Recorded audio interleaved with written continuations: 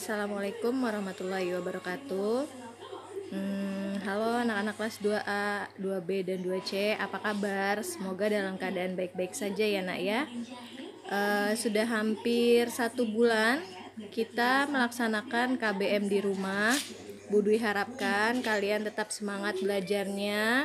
Tidak ada kata malas walaupun belajar di rumah tanpa uh, Budwi, Pariki dan Bunuri uh, untuk tugas kali ini uh, sampai dengan tanggal 19 April 2020 untuk pelajaran Budui uh, kita akan membahas tematik 8 uh, kerjakan soal tematik 8 dari uh, tema subtema 2 sampai dengan subtema 3 kalian kerjakan tiap-tiap halaman sampai dengan soal latihan subtema 2 dan latihan soal subtema 3.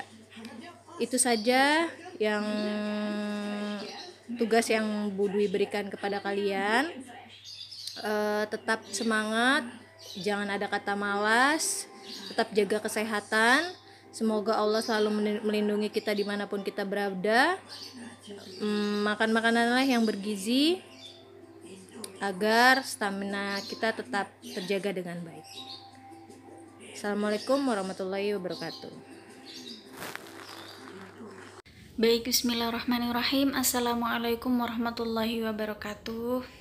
Apa kabar semuanya anak-anak soleh dan soleha kelas 2B Masya Allah Semoga semuanya dalam keadaan sehat ya nak um, Untuk tugas pekan keempat minggu ini yaitu tema 8 subtema 2 yang pertama PKN-nya itu materinya adalah bekerja sama. Yang kedua bahasa Indonesia materinya itu tentang huruf kapital atau biasa disebut dengan huruf besar. Kemudian matematikanya yaitu materinya tentang menentukan satuan waktu ya. Kemudian PJOK-nya yaitu mengenai e, melempar dan menangkap bola Kemudian SBDP-nya yaitu mengenai tarian dan e, alat musik dalam tarian itu. Maka dari itu anak-anakku ibu harap e, kalian mengerjakan tugas ini dengan sebaik-baiknya. Jangan lupa yang pertama harus dilakukan adalah membaca, membaca dulu sebelum mengerjakan soal. Jika ada yang tidak difahami, bertanya ya, jangan lupa untuk bertanya. Semakin kalian banyak bertanya, maka banyak pula yang akan kalian pahami ya. Jangan takut untuk bertanya ya. Jika ada soal yang tidak difahami silahkan uh, boleh telepon Bu Nuri atau boleh video call dengan Bu Nuri tapi harus izin ayah bunda dulu oke? Okay? untuk itu anak-anak jangan lupa untuk selalu jaga kesehatan. Kemudian jaga kebersihan pula insya Allah semuanya sehat dan mendapat perlindungan oleh Allah Subhanahu wa taala. Baik. Demikianlah uh, saran dan pesan dari Ibu. Sampai jumpa untuk pekan depan. Assalamualaikum warahmatullahi wabarakatuh. Assalamualaikum warahmatullahi wabarakatuh. Apa kabar anak-anak? Semoga kalian selalu dalam keadaan sehat walafiat Begitupun bapak-bapak dan ibu-ibu semoga selalu dalam lindungan Allah SWT. Baiklah, karena home learning diperpanjang waktunya sampai tanggal 19 April 2019 2020 maksudnya. Kali ini Bapak akan kasihkan petunjuk yaitu tata cara mengerjakannya di buku tematik tema 8 kita mulai sebelum mulai ingat baca doa dulu ya sebelum belajar ya. Bismillahirrahmanirrahim. Raditu billahi rabba bil islami dina bi muhammadin nabiyya wa rasula rabbi zidni ilma warazukni fahman amin ya rabbal alamin. Baik kita langsung saja. Kita dimulai dengan latihan dari halaman 117 sampai nanti akhirnya di halaman 220 yang mana kesemuaan latihan-latihan ini kalian bisa kerjakan bersama orang tua. Jika nanti ada kesulitan bisa kalian bertanya langsung ke Pak Riki atau ke orang tua kalian juga untuk membimbingnya. Tapi dalam hal ini secara garis besarnya dalam pembelajarannya yaitu untuk bahasa Indonesia di sini diterapkan tentang penulisan huruf besar yang baik dan benar. Sebagaimana kita ketahui huruf besar yang benar itu digunakan saat di awal kalimat nama besar nama orang awal nama orang dan nama bulan serta nama tempat atau nama daerah yang kedua adalah penerapan tanda titik. Untuk penerapan daripada tanda titik itu ada dua cara. Yang pertama di akhir kalimat yang kedua singkatan dari satu nama atau satu tempat atau serba semua yang singkatan ada titiknya. Oke untuk bahasa Indonesia seperti itu pembahasannya. Dan selanjutnya adalah untuk matematika kali ini matematika ditampilkan dalam buku tematik 8 tema 8 ini yaitu tentang satuan waktu Sebagaimana kita ketahui anak-anak, ingat ya, satu tahun itu ada 365 hari. Dalam satu tahun ada 12 bulan. Dalam satu bulan ada 30 hari. Dan dalam satu bulan juga ada empat minggu. Dalam satu minggu ada tujuh hari. Adapun nanti penerapannya bisa diterapkan dalam soal cerita, yaitu bisa nanti pengerjaannya dengan pembagian atau juga dengan perkalian. Baik, cukup sekian yang dapat Bapak jelaskan tentang pembelajaran kali ini. Kita semua berharap pada Allah Subhanahu wa taala untuk dapat terbebas dari musibah ini. Baik seluruh warga SDIT Alamanah maupun kelas 2 maupun seluruh dunia ini kita berharap pada Allah. Semoga Allah hindari kita dari musibah ini. Tapi ingat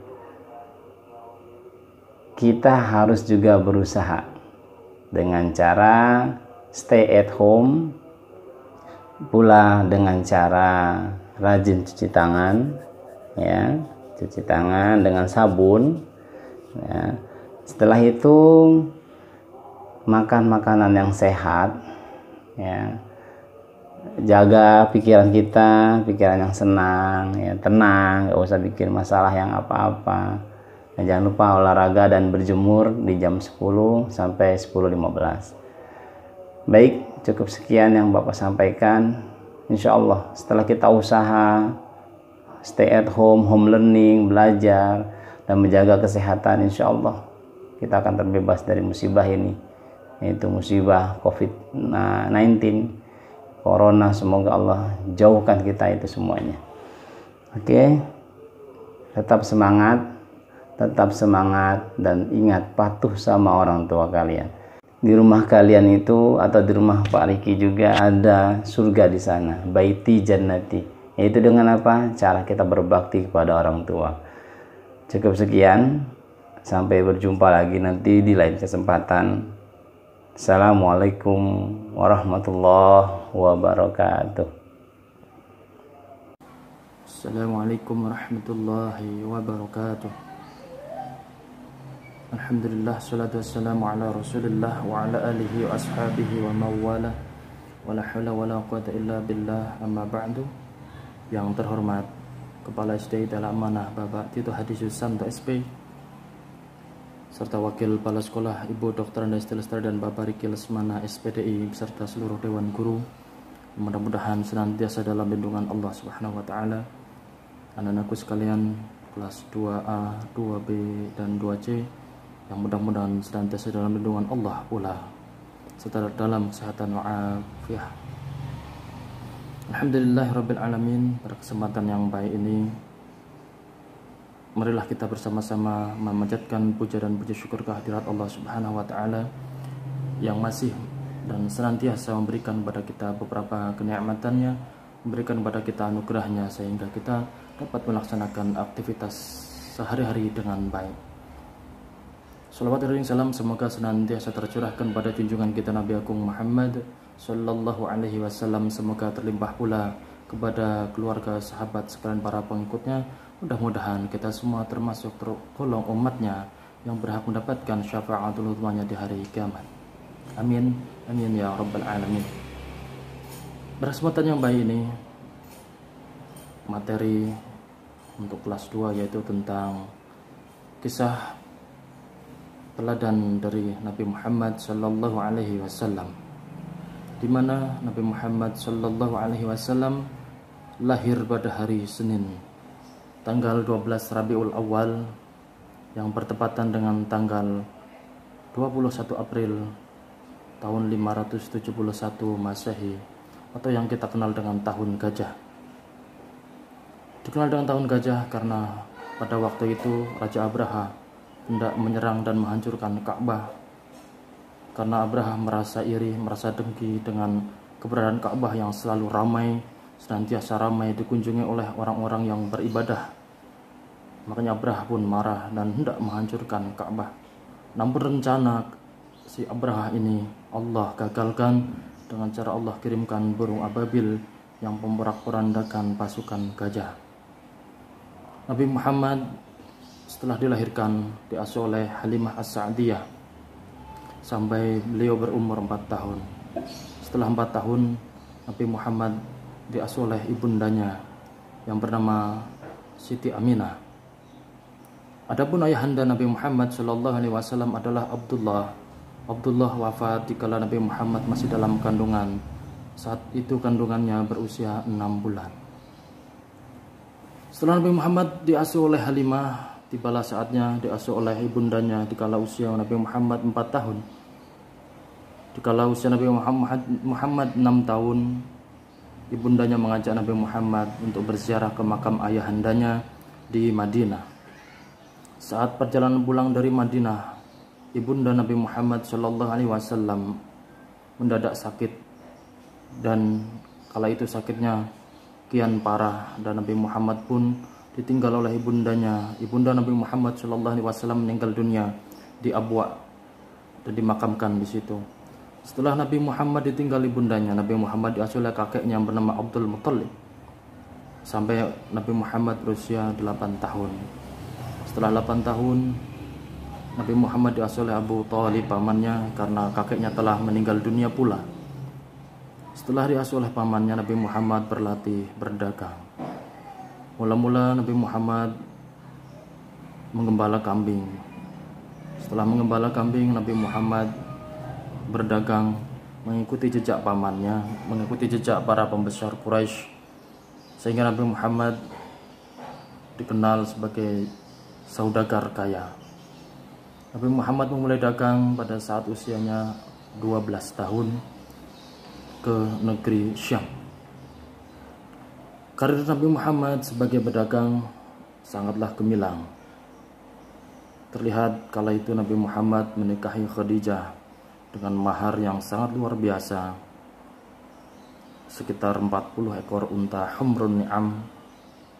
Sehingga di kala itu Nabi Muhammad terkenal sebagai saudagar kaya. Nabi Muhammad memiliki perilaku yang baik akhlak yang terpuji di antaranya yaitu gigih mandiri dan tidak pernah mengeluh Nabi Muhammad Shallallahu Alaihi Wasallam memulai perjalanan sebagai pedagang dikala masih belia, dikala masih umurnya sangat muda. Perdagangan Nabi Muhammad senantiasa berkah karena beliau dikenal sebagai orang yang jujur sehingga mendapatkan julukan Al-Amin. Beliau tidak pernah berbohong sedikit pun. Demikian cerita singkat tentang Nabi Muhammad Insya Allah akan dilanjutkan di lain kesempatan. Untuk tugas kelas 2 harap mengerjakan buku paket halaman 130, 131 bagian A dan B. Terima kasih. Kurang lebih mohon maaf. Wassalamualaikum warahmatullahi wabarakatuh. Bismillahirrahmanirrahim. Assalamualaikum warahmatullahi wabarakatuh. Alhamdulillah. Wassalatu wassalamu ala rasulillah. La haula wa la quwata illa billah. Apa kabar anak-anak semuanya? Insya Allah semuanya baik ya. Semoga Allah memberikan kita kesehatan dan keselamatan untuk kita semuanya. Amin ya rabbal alamin.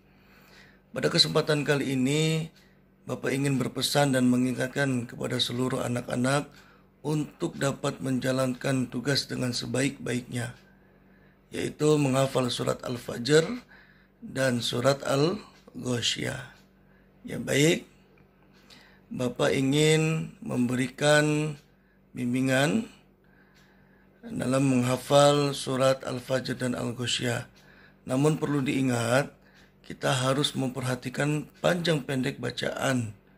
Ya, kita harus memperhatikan panjang pendek bacaannya dan juga diiringi dengan nada atau irama yang telah kita pelajari bersama di sekolah. Bapak ambil contoh dari surat Al-Ghasyiyah. Bapak contohkan dari ayat 1 sampai ayat 3 ya anak-anak perhatikan baik-baik dengarkan baik-baik. A'udzu billahi minasyaitonir rajim. Bismillahirrahmanirrahim. Ayat yang pertama nadanya naik. Ayat yang kedua nadanya datar. Dan ayat yang ketiga nada atau iramanya tuh turun dan ditutup dengan ayat yang terakhir nadanya pun tuh turun. Contoh Hal ataka hadithul ghasyiyah Bapak ulang sekali lagi, perhatikan baik-baik dan dengarkan baik-baik. Jangan sampai panjang pendeknya salah ya Naya.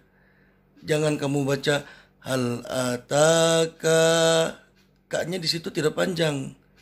Ya Bapak ulang sekali lagi. Hal ataka hadithul ghasyiyah. Kita lanjut ayat kedua. Wujuhu yawma idzin khashi'ah. Kita tutup ayat yang ketiga. Amilatun nasibah. Jadi ayat yang pertama naik, ayat yang kedua datar, dan ayat yang ketiga tuh turun. Ya baik, mungkin ini yang dapat Bapak sampaikan.